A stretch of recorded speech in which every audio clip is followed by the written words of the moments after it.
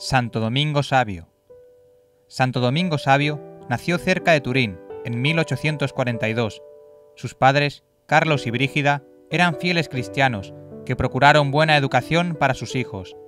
Era costumbre comulgar más tarde, pero Domingo fue admitido a los siete años dada su buena preparación. Entre los propósitos de aquel día figuran, mis amigos Jesús y María, antes morir que pecar, y los cumplió. A los 12 años su padre se lo presentó a don Bosco.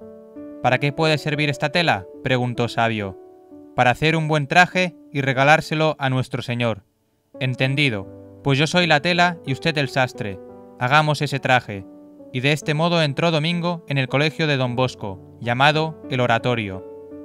Oyó un día decir a don Bosco, es la voluntad de Dios que todos seamos santos.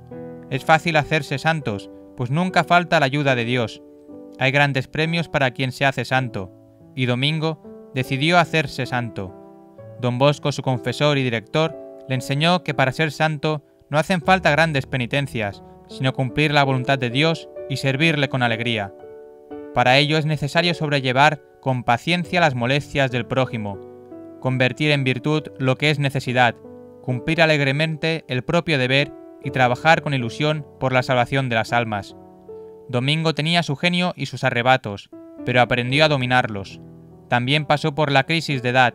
Don Bosco le repetía, constante alegría, cumplimiento de los deberes sin desfallecer, empeño en la piedad y el estudio, participar en los recreos, que también pueden santificarse.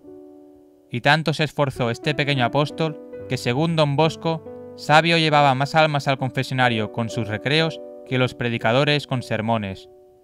Era muy amante del deporte y del canto, tenía una voz hermosísima. El Papa Pío XII lo nombró patrono y modelo de los puericantores del mundo entero. Purificaba la intención, cantaba solo para agradar a Dios. En la clase siempre estaba entre los primeros. También en esto quería dar ejemplo. Sabía que cada minuto de tiempo es un tesoro. Sabía que el tiempo es cielo. Se desvivía por sus compañeros, les aconsejaba, les corregía, les consolaba, les reconciliaba, como a dos que se habían desafiado a muerte. Les socorría. A uno le dio sus guantes, aunque él tenía sabañones. No tenía respetos humanos, era valiente en la profesión de la fe, no toleraba palabras malsonantes y menos blasfemias. Una vez sus compañeros tenían en sus manos una revista sucia, se la arrebató y la rompió en mil pedazos, practicó una devoción tierna y profunda a la Virgen. A ella entregó su corazón. Vibró con emoción cuando en 1854 Pío IX definió el dogma de la Inmaculada Concepción. Su amor a Jesús sacramentado era extraordinario. Apenas despertaba, su corazón volaba al sagrario. Le gustaba ayudar a misa. Parecía un serafín cuando la ayudaba. Hacía frecuentes visitas al prisionero del altar otro de sus grandes amores era el amor al Papa. El Señor le premió, el Señor le premió estos amores con gracias y carismas muy especiales. De repente se presentó una misteriosa enfermedad.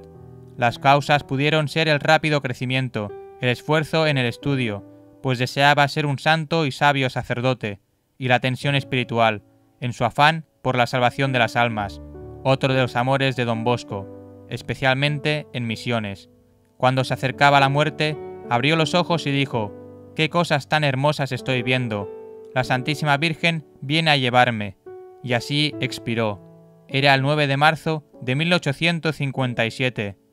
Pío XII lo proclamó santo en el año 1954. Otros santos de hoy, Francisca Romana, Paciano, Gregorio Niseno, Catalina de Bolonia.